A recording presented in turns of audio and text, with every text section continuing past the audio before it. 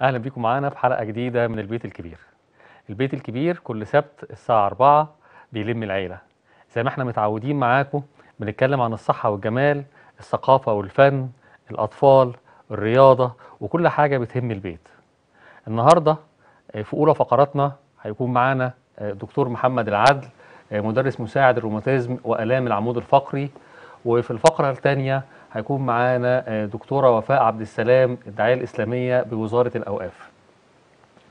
إن شاء الله آه، تكونوا مبسوطين معانا آه، بحلقة النهارده آه، وبنرحب بالدكتور محمد العدل وبنقول له أهلا بيك. أهلا بيك. واهلا بالساده المشاهدين. النهارده حضرتك هتكلمنا عن الالتهاب العضلي الليفي الفيبرومالجيا أو الفايبروميالجيا آه الفايبرومالجيا هو- إيه هو ال- ال- الالتهاب؟ هو مبدئيا يعني آه، موضوع الفايبروميالجيا ده كتير جدا عند السيدات. ده مرض آه، المفروض يعني مش معروف السبب بتاعه إلى الآن يعني سبب محدد. ولكن بيحصل بعض آه، نقص أو زيادة في استثاره الجهاز العصبي في المخ وبعض المواد الكيميائية وكمان الحبل الشوكي كمان. وده بيبقى مسؤول عن بعض الحاجات اللي موجودة في جسمنا مسؤول عن الألم حاجات مسؤولة عن ال mood بتاعك. بعض المواد الكيميائية اللي مسؤولة عن النوم كمان آه، عن ال mood اللي انت تكون مبسوط أو الاحساس بالسعادة أو اللي انت تكون كويس أو عايش. بعض المواد المسؤوله عن الإدراك يعني كتير منهم بيحس بالنسيان أو كده أو صعوبة في في التركيز أو في حاجات. معينة. فالمرض ده نوعين. نوع أولي بيجي لوحده من غير أي أمراض تانية ونوع ثانوي. النوع الثانوي ده اللي هو بيجي نتيجة بعض الأمراض الروماتيزمية بعض الالتهابات الفيروسيه آه، أمراض الغدة الح- أمراض مزمنة بعد العمليات بعد الاسترس أو الصدمات النفسية. تمام. يعني حد موت حد عزيز عليها آه، موت الزوج أخ يعني لو تعرضنا. لصدمة نفسية ممكن يسبب بيحصل مرض. ده آه بيحصل المشاكل دي كلها طبعا. الحاجات دي كلها بتتلخص في إيه بقى؟ الأعراض بتاعته عشان الناس تبقى فاهمة كويس. زي ما إحنا قلنا. بيجي في الستات. تمام. آه، العمر ممكن من 20 ل 50 سنة من ده من أكتر ال- السن اللي بيصاب بيه بعض السيدات يعني الحاجة الأساسية اللي حابب انوه عنها قبل ما بنشخص الفايبروميالجيا ده اسمه by exclusion يعني بن آه آه بنستبعد بعض الأمراض الأخرى عشان ما يكونش في مثلا عندها روماتويد وجالها ثانوي الفايبروميالجيا أو. عندها ذئبه حمراء وجالها أو عندها غدة وهكذا يعني. فبعض التحاليل المعينة بنعملها علشان نستبعد الأمراض الأخرى مش نثبت لأن هو ملوش أي تحاليل. طب الست بتشعر بإيه؟ هنجيبها من فوق لتحت يعني في بالنسبة للمخ بتلاقي في أكتر حاجة بتحس بيها إن هو مش قادرة تنام كويس. تمام عدم النوم. تصحى الصبح في آلام عنيفة جدا في معظم أجزاء الجسم. ثلاثة الحاجات اللي مسؤولة عن الإدراك زي ما إحنا قلنا النسيان. التركيز مش قادر يفكر في حاجة. كان دقيق جدا في حاجات معينة. دلوقتي مش قادر يتعامل مع الناس. كمان بينسى جدا بينسى الحسابات. وده بيصيب بعض الناس اللي هي بتعتمد على آه، شغلها ضغط stress نفسي على المخ اللي هو بتاع الكمبيوتر بقى والحسابات والحاجات دي أو ال- الأعمال الحرة والكلام ده كله. بيبقى على طول في stress في stress. يجي بعد كده الإرهاق المزمن. تلاقيه يقول لك أنا ما بقيتش زي الأول. أنا بشتغل ساعة نص ساعة في المطبخ وعايز أريح ظهري. على السرير ويسموهم المملكة بتاعتهم اللي هو بي دايما قاعد في الأوضة بتاعته ومنعزل. دولت الأربع حاجات أكتر أربع حاجات بنشوفهم في في مرضى ال fibro إحنا قلنا الألم تمام. قلنا النسيان أو ال memory والحاجات اللي هي خاصة بالذاكرة ال- صعوبة النوم والإرهاق المزمن. بيجي بقى بعد كده حاجات مصاحبة بيه برضو زي الالام بتاع الفكين زي جفاف في العين زي رئة بنشف كتير جدا زي ممكن التهاب هنا في الغدد الليمفاوية ممكن يحصل ده. ممكن كمان آه، يحصل طنين في في, الأذن. آه دي حاجة هنا حرقان في الصدر. جامد جدا. تقول لك أنا حاسه ان في طعن سكاكين. باخد نفسي بالعافية. الأعراض عفوا اللي قطع كلامك هي كده الأعراض متداخلة مع حاجات تانية كتير. عشان كده لازم طبيب الأمراض الروماتيزمية أو الأمراض النفسية أو ال- أو الأمراض العصبية هو اللي بيشخص المرض ده ولازم كده يعني. ده زي ما إحنا قلنا الحاجات اللي إحنا قلنا عليها ال mood وال fatigue وال sleep disorder والحاجات دي. بنيجي بعد كده زي ما قلت الالتهاب بتاع الفكين. ده مهم جدا التهاب الفك بيقول لك أنا فكي بيعلق مع الصبح وده بيتشابه مع أعراض الروماتويد برضه. تمام. آه، بيجي بعد كده المثانه العصبية. تلاقي يقول لك يا دكتور أنا ما بلحقش الحمام عايز أخش الحمام كل شوية أو ممكن البول يسيب منه. بتيجي بعد كده تقول لك أنا عندي البطن بتاعتي فيه آلام مزمنة مع الدورة آلام عنيفة جدا برغم إن هي ممكن تكون متزوجة. آلام أثناء الجماع أو العلاقة أو بتبقى ما بتحبش العلاقة الجنسية كمان. آه، آه، طبعا كمان الام في البطن متفرقة. بتيجي بعد كده بالليل بتحس في بعض كمان في الأحيان في مرضى كتير جدا يقول لك يا دكتور أنا نار وحرقان وتنميل في رجليا طول الليل ما بعرفش أنام. مجرد ما أجي اتغطى كده ألاقي رجلي نار صاروخ نار في رجليا مش قادرة. فدي بعض الأعراض اللي إحنا بنعملها. طب بيتم التشخيص إزاي؟ كان زمان كان بنشخص ب 18 نقطة لو المريض جاب منهم 11 خلاص ده يبقى إيه؟ مرض الفايبروميالجيا. النقط دي ممكن تكون أعلى هنا. الأعلى من عند الرقبة والصدر من المنطقة الخلفية وتحت والدراعات. والقدمين. ألام. ونقط معينة. point هو معينة. النقط اللي ظهر قدامنا على الشاشة النقط دي؟ اللي هي ظاهره كتير دي. تمام. اللي هي عنده ده. آه بعد كده بتيجي تلاقي إيه بقى؟ إن المريض ما آه آخر criteria أو آخر توصيات فيها يعني بنقول إن هو لأ الموضوع اتغير شوية. اللي هو بقى فيه موجود score للحاجات الأربعة اللي أنا قلت عليها اللي هو الألم واضطراب الذاكرة وال fatigue أو الإرهاق المزمن وال cognitive disorder اللي هم الحاجات اللي مسؤولة عن ال- المخ يعني والإشارات العصبية. فطبعا ده بياخد score معين وبعدين بنشخص بيه الإيه؟ الأمراض دي. المرض ولكن لازم نعمل ال- للأمراض المناعة زي تحاليل ال rheumatoid factor وال anti-CCP تحاليل الغدة تحاليل حاجات كتيرة جدا بنعملها عشان, عشان نستبعد. تحديدا إن إحنا بالظبط. هل هو ده- عنده ده ولا لأ؟ طب هو ممكن يجي مع أمراض أخرى؟ آه ولازم نفرق ما بينه وما بين متلازمة الإرهاق المزمن. يعني مش كل حالة هنقول مش عارف إيه أو نقص فيتامين د ممكن الأعراض دي تتشابه مع بعضها. فعشان كده ال- المرض ده بيت- بي- بيتأخر شوية في التشخيص. للأسف. يعني في ناس كمان آه، بعض الأطباء مش مقتنعة بوجود المرض ده أساسا. لكن هو مرض وموجود وكتير جدا من السيدات بتظلم. ليه؟ لأن تحاليلها بتبقى كويسة جدا. الأشعاعات بتاعتها كويسة جدا. فتيجي تروح للدكتور فيقول لها انت زي الفل انت كويسة أيوة. انت أحسن مني. ده مش عارف إيه. فطبعا بتروح البيت وهي مريضة بتتألم الألم بتاعها مبرح جدا زي ألام الحريق بالظبط. تحس إن جسمها محروق. كل سنتي في جسمها بيوجعها بتتألم عارف ال- التاتش بالنسبة لها ألم. يعني الألم عندهم بيحسوا 10 أضعاف الطبيعي. تمام يعني هو هو التشخيص أهم حاجة في الم... يعني عشان بالظبط. عشان نوصل للمرض ده تحديدا لازم يكون ع... التشخيص بنشخص ده مظبوط. رقم واحد. ده بالنسبة للمريض. بالنسبة لأهله الوعي. بالظبط. لازم يكون اللي حواليه عارفين عن طبيعة المرض ده لأن بيبقى الإنسان حساس جدا. الكلمة ممكن تألمه ال- اللي أنت تحسسه إن هو مش تعبان. لأن الناس دي بتبقى آه، حساسة جدا وفي نفس الوقت الناس اللي هي بتعرف المثاليين اللي هم بتوع البرفكشن في كل حاجة بتلاقيهم نضاف جدا بيلبسوا كويس جدا. بتلاقيهم بيهتموا بالنظافة العامة لأولادهم للبيت. آه، عشان كده القدرة موضوع ال- طبعاً. آه، فموضوع الإرهاق المزمن مؤثر عليهم جدا صحيح. لأن هو طبيعتها بتحب تنظف كتير بتحب تخرج بتحب تلبس كويس. فالموضوع ده بيعيقها عن عن بص أبسط الأشياء. ما بتعرفش تعمل أي حاجة في البيت. تمام. فطبعا بيبقى بيجي بقى مع الأعراض النفسية ده بتتمثل في الاكتئاب طبعا. تلاقي ممكن عندها اكتئاب ما بتحبش تتعامل مع أو ده ده الحاجات اللي بيوضح لنا إزاي اللي هو بيسيب الجهاز العصبي يعني والإشارات. العصبية بتتأثر. وبعض المواد الكيميائية وال زي ما نقول المخ وال spinal cord أو الحبل الشوكي بيتأثر وبيأثر بالتالي على نقط الألام دي. فعشان كده الناس دي لازم يكون وعي للأفراد. ثانيا لازم الناس دي تندرج تحت نفقه الدولة لأن الألم بتاعهم مزمن المرض ده مزمن ملوش علاج نهائي إلى الآن ومكلف جدا العلاج بتاعه. يعني هو كله مسكنات. لا مسكنات مضاد للاكتئاب آه، حاجات كده هنيجي فيها في تمام، في آه. العلاج يعني. فلازم يعني إحنا بنناشد فعلا إن هو لازم يندرج تحت نفقه الدولة لأنه بياخد علاج باستمرار. والعلاج بتاعه غالي مكلف شوية يعني. فمش كل الناس هتقدر ثانيا بيزهقوا بيزهقوا من كتر العلاج. زي ما انت حضرتك بتقول إيه مسكنات ومضادات. الاكتئاب وعايز منوم عشان ينام وعايز مش عارف إيه. حاجات كتيرة جدا بتتأثر مع مرضى ال fibro ده فعشان كده يعني زي ما بقول لك أهم حاجة العامل النفسي عندهم.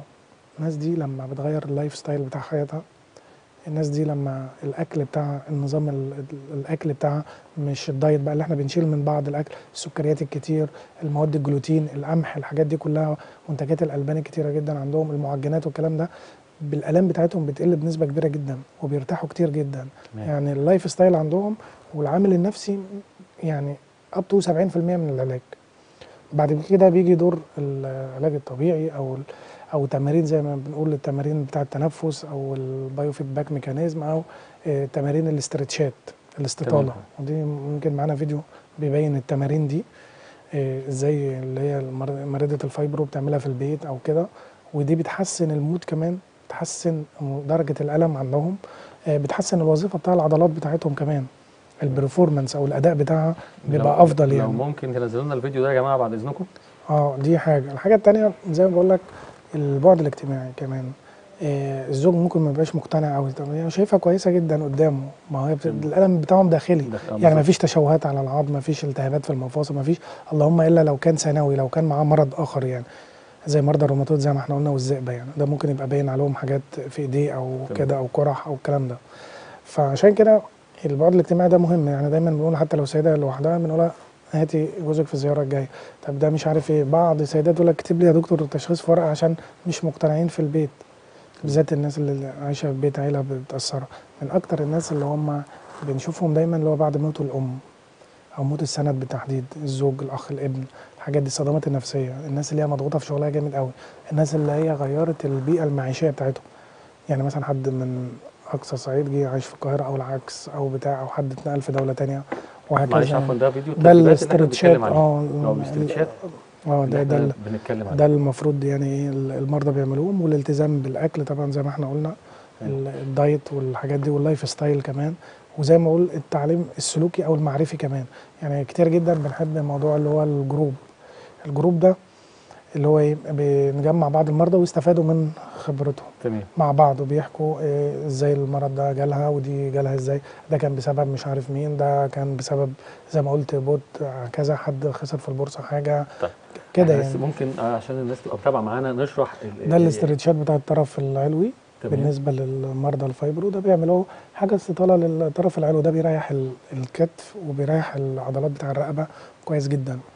يعني المريض بيحس بتحسن رهيب بعد ال- ال stretchات دي تمام ودايما برضو ممكن المساج الخفيف جدا ال- الشاور الدافي الحاجات دي كلها بتريح المريض أقصد أقول لك إن معظم الأدوية علشان النوم علشان الألم علشان الحاجات المعرفية مم. وكل مريض يختلف في علاجه عن التاني صح يعني يعني الراحة الذهنية والراحة. النفسية هي العامل الأساسي ما هو الأربع عوامل كمان اللي إحنا بنقول الأعراض الكتير في واحد عنده الألم أكتر في. واحد عنده النوم هي أكتر شوية. في واحد عنده موضوع الإدراك والاكتئاب والحاجات دي أكتر. في واحد عنده الإرهاق شديد عليه شوية.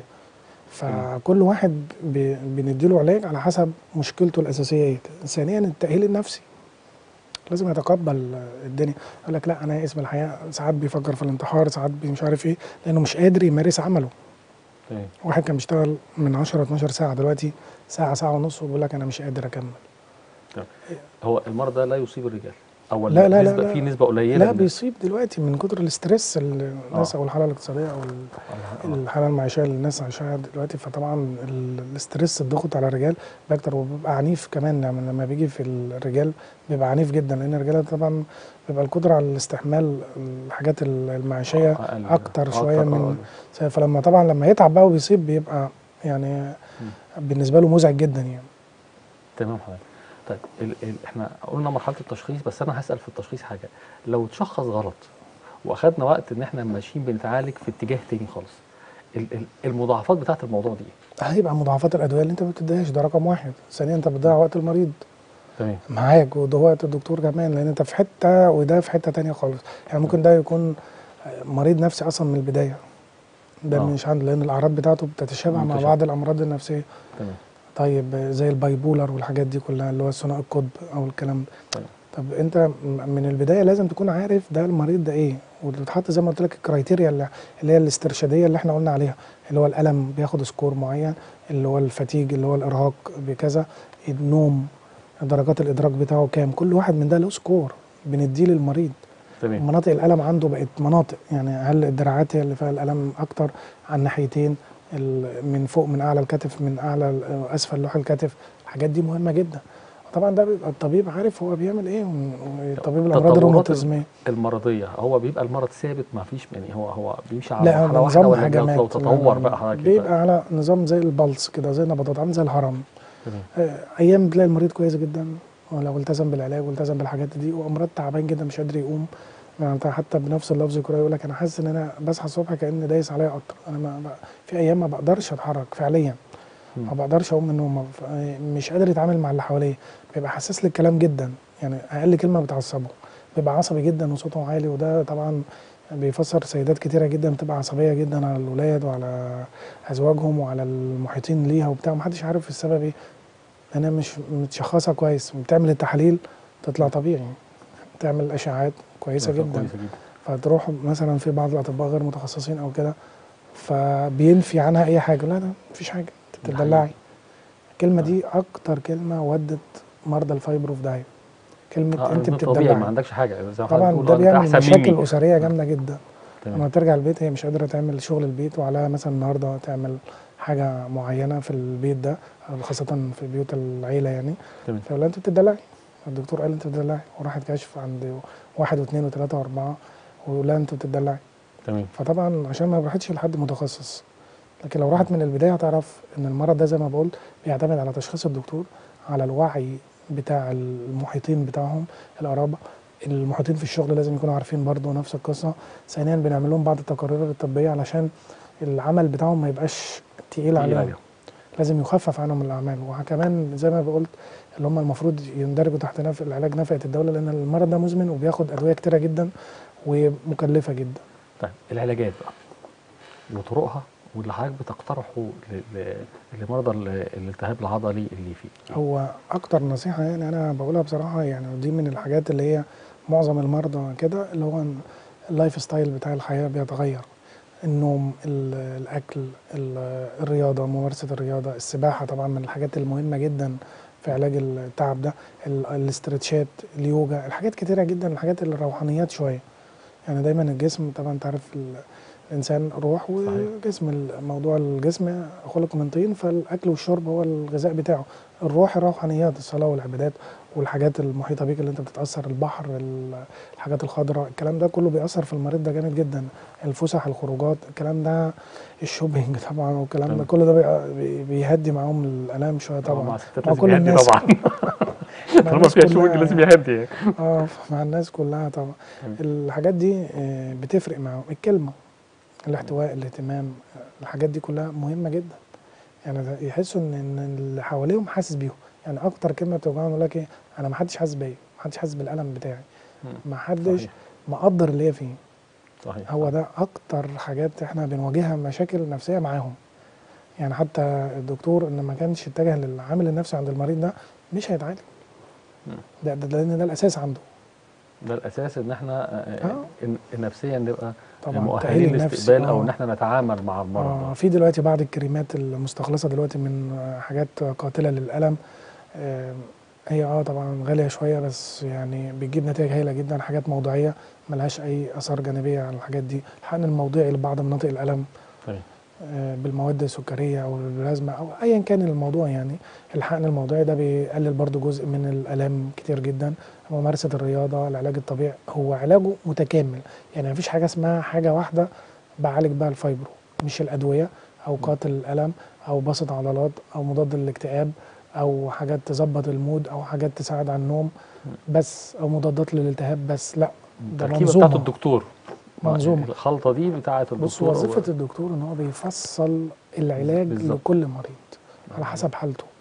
ما أنت بيخش عوامل كتيرة جدا الحالة المادية صحيح. الحالة الاجتماعية متجوزة ولا مخلفة ولا مش مخلفة. ما ده برضه الحاجات دي بتأثر جامد جدا صحيح. عليه آه، مطلقة أرملة ده برضه مطلق أعز كده. الحاجات دي لها جوانب بتاع مريض بيحب يلتزم على الدواء ولا ده بيحب الحاجات العلاج النفسي؟ في مريض يقول لك أنا ما ب- ما بحبش الدواء ما بحبش الادويه أشوف له طرق تانية. أنا عايز lifestyle عايز أعيش حياتي عايز أسافر عايز أروح شوف لي حاجات طبيعية المساج حقن بتاع حاجات أنا ما مش هقدر أستمر إن أنا آخد دواء. في مرضى كتير جدا يرفض ياخد علاج الاكتئاب يقول لك لا أنا مش عايز أتعود. رغم إن هو ممكن في بعض الأدوية ما تصيبش ال- التعود يعني عادي. تمام. ممكن يتوقف عنها وكده يعني. فعشان كده لازم الوعي الصحي. المريض بيتكلم مع الدكتور وبيختاروا مع بعض طريقة العلاج المناسبة ليه. اللي هي تساعده على الشفاء بإذن الله. يعني. بإذن الله بإذن الله. طيب حضرتك أنت قلت في وسط الكلام إن إحنا آه، إن المرضى لازم يدخل تحت آه، نفقة الدولة. مم. آه، وعلشان علشان تكلفته و... آه طبعا طبعا. واللي هو مرض مزمن يعني فطبعا وده حقهم يعني. ده أقل حاجة. ده أقل حاجة ليهم لأن هم فعلا بيتألموا آلام عنيفة. ما حدش هيقدر يعني مش عايز أقول لك إن في ناس تقول لك الهدوم اللي عليا بتوجعني. ده مم. حقيقة. هو بيحس هو بيحس كده.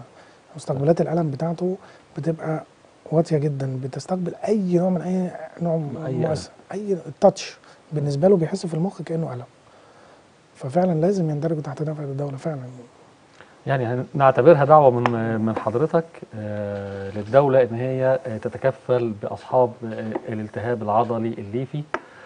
كان معانا دكتور محمد العدل آه، مدرس مساعد الروماتيزم والآلام آه، العمود الفقري. بنشكرك دكتور محمد. شكرا إن شاء الله نلقاكم آه، بعد الفاصل آه، مع دكتورة وفاء عبد السلام. شكرا لكم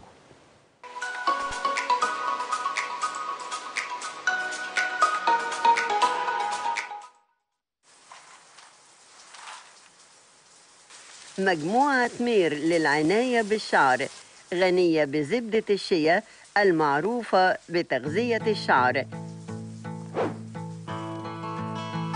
انسي الشعر المقصف الهايش مع مجموعة مير الغنية بزيوت طبيعية هتغير لك حياتك وهتبقي نجمة وسط أصحابك. مجموعة مير شامبو بلسم زيت وكريم. لازم تستخدمي منتجات مير للحفاظ على جمال شعرك. مجموعة مير شامبو بلسم حمام كريم. مجموعة مير للعناية بالشعر.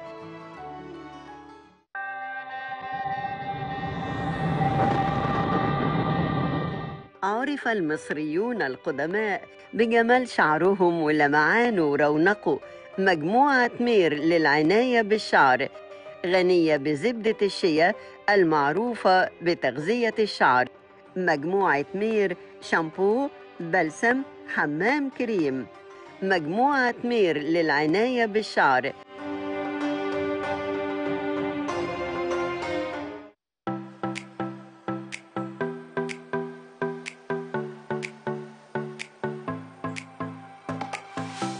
مجموعة مير للعناية بالشعر. غنية بزبدة الشيا المعروفة بتغذية الشعر. أنسي الشعر المقصف الهايش مع مجموعة مير الغنية بزيوت طبيعية هتغير لك حياتك وهتبقي نجمة وسط أصحابك. مجموعة مير شامبو بلسم زيت وحمام كريم. بعد استخدامك للبروتين والصبغة لازم تستخدمي منتجات مير للحفاظ على جمال شعرك. لطلب المنتج الاتصال على 010 33 99 78 78 مطلوب وكلاء للتوزيع. منتجات مير للعناية بالشعر خالية من الصوديوم والسلفات. مير لمعان ونعومة فوق الوصف. لأن الوقت من ذهب يا ناس يا هو الحلاقة بقت من غير تعب مع جل الحلاقة فو. مهما كنت مستعجل فو هيخليك في أبهى صورة وشياكة من غير استخدام للمية جل الحلاقة فو بيسهل لك الحلاقة. فو انتعاش حماية ترطيب. جل الحلاقة فو حلاقة سهلة بدون تعب. انتعاش فوق الوصف شفاف بدون رغوة. فو انتعاش حماية ترطيب. فو تصنيع شركة ريفال فارما مطلوب وكلاء. لطلبات الجملة والتوزيع. 010 33 99 78 78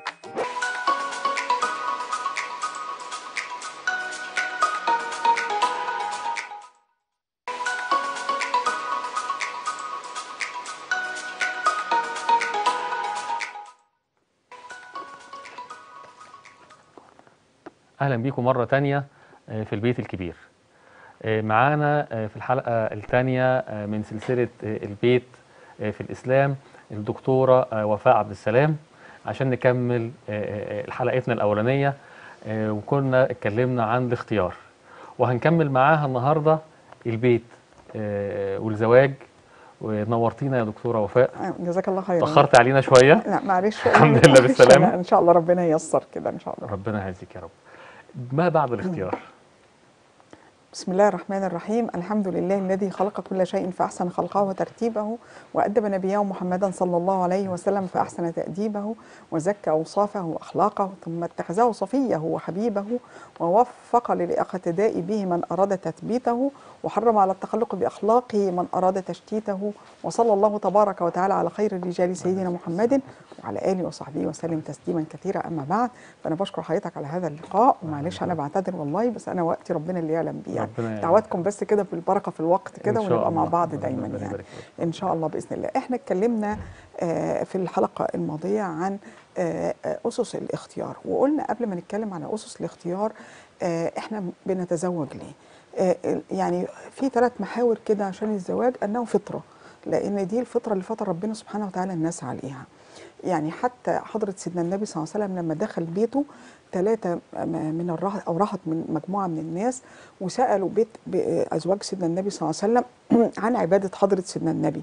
فكأنهم تقلوها. يعني قالوا العبادة لا يعني و- و- وأوعزوا هذا الأمر. قالوا آه، أن رب العزة سبحانه وتعالى قد غفر لرسول الله صلى الله عليه وسلم ما تقدم من ذنبه وما تأخر. ف- فواحد فيهم قال أنا آه، حصوم الدهر ولا أفطر. مش هفطر أبدا. يعني أصوم الدهر ولا أفطر. آه والتاني قال وأنا أقوم الليل ولا أنام. والتالت قال وأنا آه لا أتزوج النساء. عشان يبقوا متفرغين لعبادة رب العزة سبحانه وتعالى. فحضرة سيدنا النبي صلى الله عليه وسلم لما سمع. منهم هذا الكلام ويمكن أنا أصريت أن أنا أتحدث في هذه النقطة آه النهاردة لأن في كثير من الناس اشتكوا أن أبنائهم وبناتهم آه، آه، بدأوا يعرضوا عن الزواج. آه، ودي بقت آه، يمكن اقتربت أن تكون ظاهرة. آه، فقالوا لي يعني طلبوا مني أتحدث في هذا الأمر فأنا قلت نراجع ون- ون- ونتذكر ما تحدثنا فيه. فسيدنا النبي لما سمع هذا الكلام ذهب لهم. آه، وقال لهم أنتم الذين قلتم كذا وكذا؟ فقالوا بلى يا رسول الله. فقال النبي صلى الله عليه وسلم والله إني لأخشاكم إلى الله وأتقاكم له. يعني أنا أخشى الناس لله عز وجل وأتقى الناس لله عز وجل. ولكني أصوم وأفطر وأصلي أو أقوم الليل وأنام وأتزوج النساء فمن رغب عن سنتي فليس مني. ويمكن لما ذكر لحضرة سيدنا النبي صلى الله عليه وسلم اللي بيعمله سيدنا عثمان بن مظعون من إن هو معتزل كل حاجة وقاعد بس للعبادة فحضرة سيدنا النبي صلى الله عليه وسلم أرسل إليه وسيدنا عثمان بن مظعون ده يعني من من الصحابة الثقال في ال في ال في, ال في الإسلام. ده يبقى خال السيدة حفصة وسيدنا عبد الله بن عمر آه، أبناء سيدنا عمر بن الخطاب.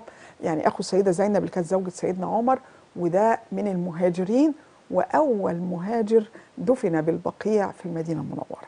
آه، فسيدنا النبي صلى الله عليه وسلم قال له أراغب أنت عن سنتي يا عثمان؟ فقال لا يا رسول الله. فقال له سيدنا النبي صلى الله عليه وسلم إذا تزوج آه، فإني أتزوج وبدأ يعدل مسار سيدنا عثمان. الحاجة الثانية آه، قلنا الانتقاء والاختيار وإحنا تحدثنا عليها باستفاضة آه، في الحلقة الماضية. آه، الحاجة الثالثة المصلحة الاجتماعية ودي متعلقة بالأولانية. مصلحة اجتماعية يعني إيه؟ حفاظ على النسل.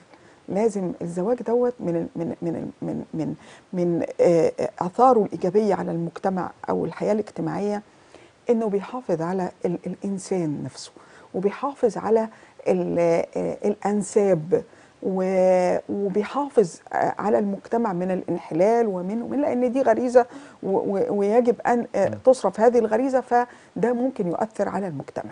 أخذنا الأجزاء بتاعة الاختيار الأسبوع الماضي والنهاردة هنبدأ بقى في في ال- في الشق العملي. لو بدأنا نتحدث عن الشق العملي آه، أنا اتقدم لبنتي عريس وبدأت أقيس الشرع على هذا الاختيار أو تقد أو ابني عايز يتقدم إلى عروسة ونظرت إلى المقياس الشرعي اللي اللي, اللي اسلي بيه واداني الأسس اللي اختار عليها. ووجدت إن الأسس موجودة. طول ما أنا ببحث وأرجوكم وبكرر وبعيد وبزيد في هذه الجملة تحروا التحري ده مهم جدا جدا جدا. كثير من بناتي بعد ما بتتخطب وبيبدأوا في التجهيز ولسه كان في مشكلة قريبة جدا لإحدى بناتي وطلع في الآخر اخذ كل ال- ال- ال- ال- العفش اللي جابته وطلع نصاب. فلما بسألها لا إحنا سألنا الجيران فقالوا آه يعني كويس في حاله. ما يعرف- ما يعرفوش عنه حاجة غير إن هو في حاله ففي حاله ده حاجة كويسة. آه فطيب إحنا فين التحري؟ فين نروح له في شغله ونسأل عليه؟ فين يعني لازم يبقى في تحري بناتنا آه آه لازم يصانوا. فالحمد لله ان ظهر هذا ال- الأمر قبل آه آه الزواج أو قبل الزفاف. فلازم نتحرى. وإحنا بنتحرى عندنا صلاة الاستخارة. وصحابة رسول الله صلى الله عليه وسلم آه، وسيدنا جابر قال إن الرسول صلى الله عليه وسلم كان يعلمنا الاستخارة كما يعلمنا السوره من القرآن.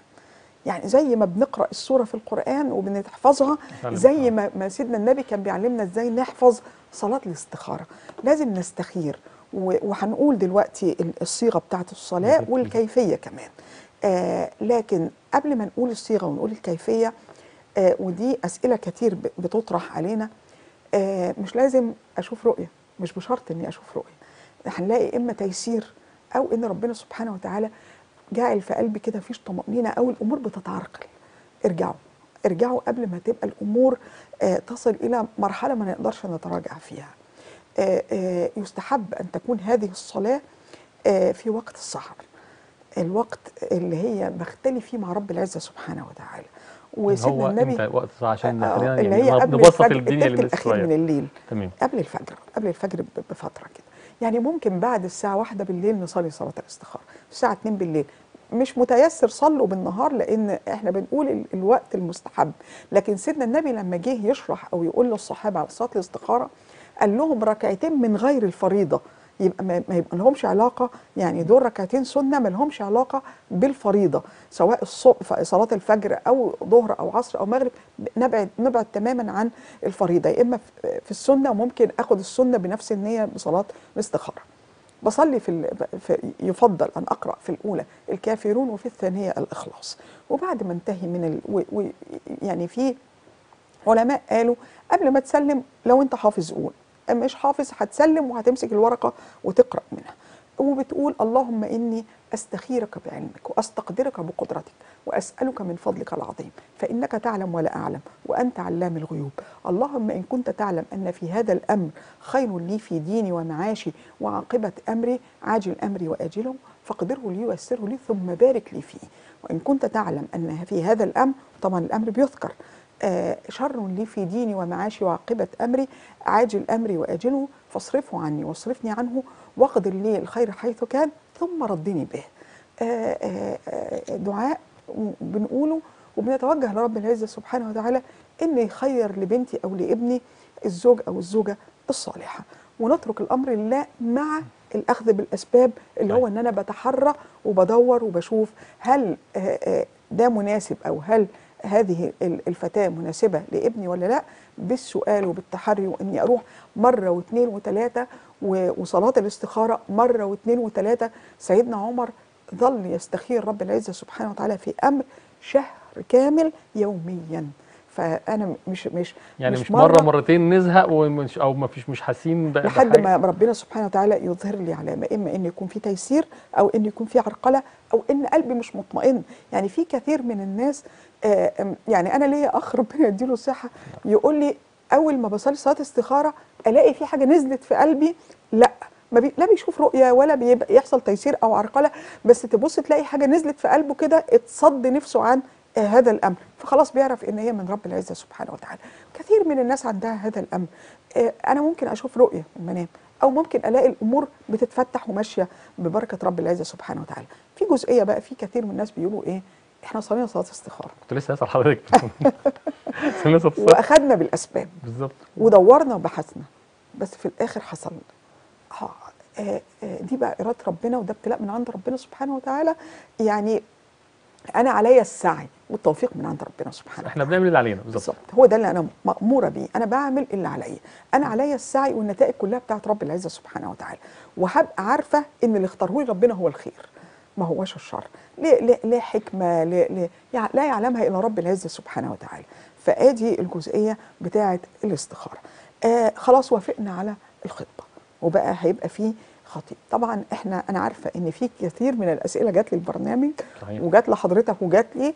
طيب لما بيحصل طلاق لما بيحصل كذا لما بيحصل كذا الأبناء ويحصل إيه؟ والله هنيجي إن شاء الله ما تقلقوش أنا بقول لكم. وحتى الحاجة أم يوسف أو اللي اتصلوا بينا من الفيوم ال- الأسبوع الحلقة الماضية أسئلتهم وإجاباتهم جاية إن شاء الله بإذن. الله. آه، أستاذة يسرا أهلا بيكي. يوسي أستاذ يسري أهلا يا بيك أهلا. بيك أستاذ يسري. معلش أنا آسف. أهلا بيك أستاذ يسري. أنا بشكر حضرتك ويا ريت كل التلفزيون والبرامج تبقى زي حضرتك الله كده يعزك يا رب. شكرا ليك. اتفضل مع حضرتك يا وال وال وال والأستاذة الدكتورة دي أنا متابعها من زمان في برامج كتيرة. جزاك الله خيرا. الله يخليك. آه، ويا ريت آه، كل القنوات تبقوا زيكم. أنا ما عنديش سؤال ولا عندي حاجة. الله يكرمك يا رب. شكرا ليك ويعني ده ده شكر ويعني وسام على صدرنا ربنا يعزك يا رب. شكرا ليك أستاذ يسري. جزاك الله خيرا. أستاذ يسري آه، شهادة نعتز بها. بارك الله فيك. فبتيجي آه، آه، أنا عارفة إن جت طلبات كثيره هنمشي واحدة واحدة طالما خدنا هناخدها إن شاء الله بإذن الله سلسلة بإذن الله. فدخلنا في مرحلة الخطبه آه، مشاكل بقى على الشبكة والشبكة هدية ولا مش هدية. الشبكة دي هديه هدية الخاطب ودي طالما ما فيش اتفاق عنها جزء من المهر ملهاش علاقة بالمهر. عشان بس إيه إيه هو بقى المهر؟ هنتكلم في الأمور دي كلها لأن يعني ترجع في حالة الفسخ ولا لأ؟ ما عشان هو في الأمور يعني- دي كلها هنتكلم فيها. طيب. هنتكلم فيها. أنا ساكت أهو. حاضر. الأمور دي طيب كلها معلش استاذنك طيب، بس. معانا أستاذ علي من أسيوط. أهلا بيك أستاذ علي. السلام عليكم. وعليكم عليكم السلام. السلام ورحمة الله. سؤال بارك الله فيك. الدكتوره مع حضرتك البرنامج اتفضل الجميل ده أختنا الدكتورة. الله يبارك هل فيك. صلاة الاستخارة يبنى عليها حكم شرعي؟ وبالنسبة لصلاة الاستخارة برضو الناس بتعمل استخارة وبرضو بتيجي أمور يعني زي رموز في الرؤى زي رؤية خواتم آه، خاتم كبير خاتم صغير أحجار كريمة. مفيش خاتم بيجي على مدار اليد يعني. ممكن ألبس خمس ست خواتم في الرؤية كأن حد اداني خاتم يعني. مرة يطلع بفص ومرة فص صغير مرة ما تلبسش الخاتم. تمام يا ماشي أستاذ علي شكرا ليك. اتفضل يا دكتور. آه، ما فهمتش السؤال. قوي بس ال- ال- ال- آه، أنا هقول لحضرتك هو بيقول بتقام بيقام حكم شرعي على الاستخارة. يعني مثلا هو استخار استخارة آه، يعني يصلي صلاة استخارة آه، على أمر. فجاله الأمر دوت وليكن آه، آه، والعياذ بالله مثلا طلاق. تمام. فهل يقام الحكم شرعي كده إن أنا أطلق فعلا بناء على هذه الاستخارة؟ طبعا آه، آه، إحنا إحنا بنقول آه، إحنا بنستخير ربنا سبحانه وتعالى وإما بشوف رؤية زي ما حضرتك بتتكلم دلوقتي وتأويل الرؤى ديت آه، بترجع لمتخصصين في تأويل الرؤى. آه، الرؤية ممكن تكون واضحة وممكن ما تكونش واضحة. حضرتك بتسأل حد يكون متخصص في تأويل الرؤى يقول لحضرتك تأويل هذه الرؤية وإن كنت آه، يعني بقول لحضرتك أنت بت- بتقوم من الرؤية بتبقى فاهم من من الراحة النفسية لكن لا تقيم حكم شرعي لا تقيم حكم شرعي على هذا الأمر. يعني آه، يعني أنا ما يعني ما أقدرش أقول لحضرتك إيه واحد استخار وخلي بال حضرتك الاستخارة بتبقى في شيء يرضي الله عز وجل وليس في شيء يغضب الله عز وجل. فما أقدرش أقيم هذا الحكم على حاجة آه، آه، ربما أكون أنا أولتها تأويل خاطئ. فممكن يكون تأويلي خاطئ. أنا باخد بالأسباب والتوفيق من عند ربنا وده الجزء الثاني من سؤال حضرتك. يعني سواء هما الاثنين متعلقين ببعض. أنا باخد بالأسباب. لكن ما أقدرش أقيم حكم أقيم حكم شرعي على هذا الأمر. لا ده أنا ده أنا بقول له يا رب أنا لا حيلة لي ولا علم لي فيا رب أنت خير لي اختار لي. اختار لي بقى أخش في المشروع دوت ولا ما أخشش؟ أخش في الزيجة دي ولا ما أخشش؟ آه، أشتري العربية دي ولا ما أشتريهاش؟ آه، يعني أشتري البيت ده ولا ما أشتريهوش؟ لأن أنا ما أعرفش ما وراء هذا الأمر لكن لا يتعلق عليه آه، حكم شرعي. أما بالنسبة بقى زي ما أنا قلت يمكن ذكرت الجزئية ديت آه، آه، ربما أنا أصلي صلاة استخارة ويجي النتائج عكس أقول طب أنا صليت. بصراحة هي فيها شقين.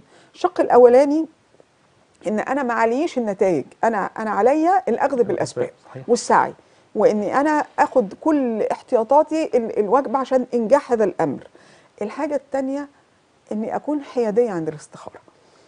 لأن بمعنى؟ كثير هقول لحضرتك كثير من الناس بتخش صلاه الاستخارة وهي واخدة قرار. ففي في يبقى في تأثير نفسي عليا أنا مفيش نتيجة أصلا مفيش يعني. نتيجة. بالظبط. كده. فخلاص بخش باخد القرار وأنا صليت استخارة. دي ده ده أمر مهم جدا جدا. يعني أنا كت- كتير من ال ال ال ال ال بناتي يقولوا إحنا صلينا صلاة استخارة. طب انت بتصلي صلاة استخارة؟ آه آه، لا أنا كنت يعني آه، مرتبطة بيه أو عايزاه أو هو عاجبني أو كده فأنا صليت استخارة. إن أنا طب ما انت واخدة قرارك أساسا. أو أنا رحت اتعاقدت على على العربية وتعاقدت على لونها وتعاقدت على كل حاجة. وبعدين بقى بصلي صلاه استخاره تكمله الامر طب ما انت ما أنت واخد قرارك. لا صلاة الاستخارة أنا بسأل وفي نفس الوقت بصلي صلاة استخاره يا رب خير لي الخير افرض إن ال ال ال الأمر جه عكس ما أنا كنت عايزة. لأن كثير مثلا من البنات و- وبرضه دي جزئية أنا بحب أثيرها وكويس إن في أسئلة تفتح لنا الموضوعات. يجي الرجل آه، ميسور الحال. ويعني مرتاح ماديا. فأنا ويجي واحد تاني آه، ما معهوش ماديا. فقير. فأقول لها صلي صلاة استخاره ده ولا ده؟ تقول لا ده خلاص انتهى. ده أنا مش هاخده. الفقير ده أساسا. ده ده بره الموضوع. كويس؟ أنا هاخد يعني انت حاطة إطار اللي انت تختاري على أساسه.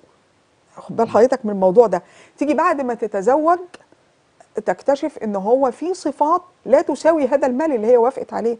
طب انت لما صليتي صلاة استخارة كنت محددة حاضر هخلي اتصال يدخل بس عشان نقفل دي. انت كنت محددة آه، حاجة. ما جيتي غيرتي هو مش مسؤول عن هذا التغيير. طيب. معانا أستاذة إيمان من أسوان.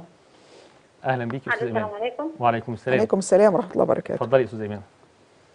والله يا حضرتك انت كنت بتتكلمي عن إزاي إن الواحد ياخد قرار وهو ما داخل صلاة الاستخارة.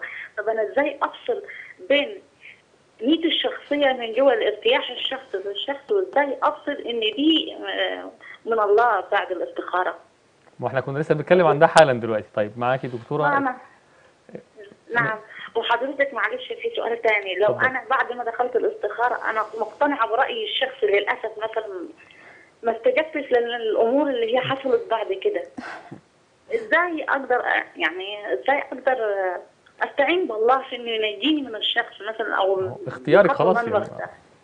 اخترتي طيب فقدر لك ما شاء الاختيار ما شاء الله هو ده الجزء اللي بنتكلم فيه ما شاء الله يعني. بص هو عليك. إحنا بنقول إحنا يعني هو ده اللي إحنا بنقابله في في في طريقنا وفي حياتنا وهو ده اللي موجود فعلا بالظبط. في الحياة وما كان الناس بتطلب آه، دايما إن بالظبط إحنا كده. يعني نطلع ننزل لأرض الواقع يعني. آه، حضرتك إزاي تقولي هو ده من جوايا ولا ده من من من من, من اختيار رب العزة سبحانه وتعالى بتسليمك أنت صحيح. أنت اللي قبل ما تخشي في هذا الأمر ما تكونيش واخدة قطع أمر في هذا الموضوع فبتسليمك انت لله عز وجل. أنا راضية باللي ربنا قسمه لي وأنا راضية وعشان كده قلنا إيه؟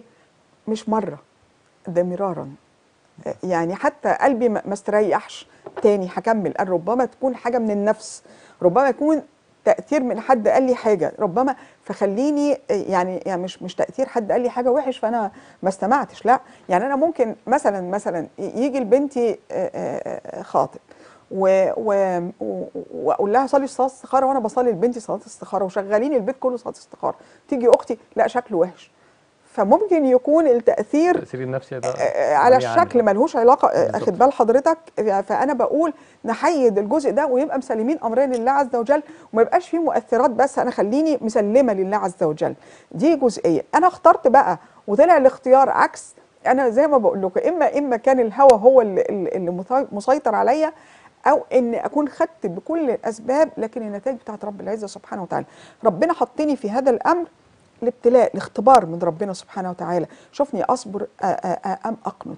ربنا حاططني في هذا الاختبار. ربنا أكون ربما أكون آية لغيري عشان خاطر أوري لهم إزاي لما حصل عكس هذا الأمر اخذته بقضاء برضا بقضاء الله عز وجل وتعاملت بأخلاقيات الإسلام الصحيحة والحقيقية. فأنا مش عارفة الحكمة إيه. ف- فيبقى بس في الآخر. عندي رضا. اتفضل. آه، أهلا بيك أستاذة فاطمة. أستاذة فاطمة من مطروح. أهلا. اتفضلي يا أيوه. فندم. اتفضلي يا أستاذة فاطمة. أيوه أنا عايزة أكلم الاستاذ معاكي اتفضلي أنا مع. حضرتك أهلا. وسهلا بيك يا أستاذة فاطمة. أهلا بيك يا فندم. أهلا بيك. أنا يعني في قدامي عريس بس أنا مقتنعة بيه. أو مصليش استخاره حضرتك سمعتي إيه؟ هي مختارة عريس على ما صح كده يا فاطمة ومقتنعة بيه بس ما صليتيش استخاره أيوه. مظبوط؟ طيب واتخ- واتخطبتوا خلاص؟ لا لسه. طيب آه، طب أنا بطلب منك يعني آه، يعني معلش كده صلي صلاة استخارة و- وقولي يا رب كده إيه خليني يعني إيه خلي آه، نور لي بصيرتي. يعني ادعي ربنا سبحانه وتعالى أن يريني لك البصيرة. آه بعد يعني يعني بعد ال- الاقتناع دوت يا رب رجعني كده لنقطة حياد ونور بصيرتي ووريني يمكن أنا مش شايفة. آه، فاصل بس للأذان حاضر. آه، واستمري على الفاصل. هذا الأمر. ربنا ييسر. ماشي. طيب اتفضلي معلش أنا آسف آه، كملي. آه طيب. بس- واستمري على. الاستخارة. آه، مش مرة ولا اتنين ولا تلاتة آه، يعني آه، ضلي كده على الاستخارة لحد ما ربنا سبحانه وتعالى يستجيب ليكي بوفق مراد الله. وانت بتدعي في الاستخارة بتاعتك قولي له يا رب يا رب خليه وفق مرادك مش وفق مرادي أنا. يعني حاولي تصححي النية في هذا الأمر وربنا سبحانه وتعالى يخير لك الصالح. تمام. آه، نكمل حضرتك سريعا قبل الأذان عشان نطلع فاصل لل- للأذان. آه، انت قلت حضرتك من شوية الغنى والفقر. آه. تمام؟ دول عامل أساسي جدا في الاختيار. لا. لا مش عامل أساسي. ما هو التكافؤ إحنا في- التكافؤ عامل أساسي. كنت أنا لسه كنت هسأل حضرتك على موضوع التكافؤ التكافؤ. عامل أساسي. تمام. لكن لكن لكن الغنى والفقر مع ذهاب ال ال ال الدين مش عامل أساسي. يعني لو حطيت الدين. وحطيت الغنى والفقر أنا هقول لحضرتك على حاجة ودي من الحاجات اللي كنت هذكرها بعد شوية. لما تقدم آه، آه، السيدة فاطمة بنت حضرة سيدنا النبي يعني ما فيش. ما فيش بقى إيه يعني إيه أعلى من كده. لما تقدم آه، للسيدة فاطمة وعرف من يخطبها وعرف أن أن السيدة فاطمة تخطب من رسول الله صلى الله عليه وسلم.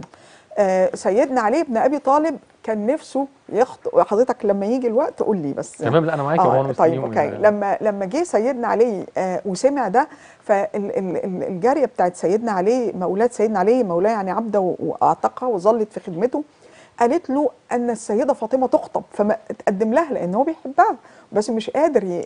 فقال لها لا املك شيء فقالت له تقدم لرسول الله صلى الله عليه وسلم وتحدث معاه. أنت عارف حضرتك إنه راح لسيدنا النبي مش قادر يتكلم من علو مكانة السيدة فاطمة ومن آه، آه، ضيق ذات اليد عن سيدنا علي. فسيدنا رسول الله صلى الله عليه وسلم آه، مشي سيدنا علي. جه تاني واستحى إنه يفتح يفتح سيدنا رسول الله في هذا الأمر. أما جه تاني وقعد قدام حضرة سيدنا النبي سيدنا النبي صلى الله عليه وسلم. قال لماذا جئت يا علي؟ فمش قادر يتكلم. قال له أجئت لتخط- لتخطب فاطمة؟ فقال بلى يا رسول الله. يعني شوف حتى حياء وأدبا الفارق ال- ال- اللي بين السيدة فاطمة بس مش فارق اجتماعي. يعني عشان بس الناس تاخد بالها. دي ده ابن عم حضرة سيدنا النبي صلى الله عليه وسلم. فرق فرق مادي ما- ممكن أو يكون فارق يعني. مادي. هو ما معهوش. يعني هو ما معهوش. طب هن طيب هن بس فاصل ونرجع لكم. شكرا لكم.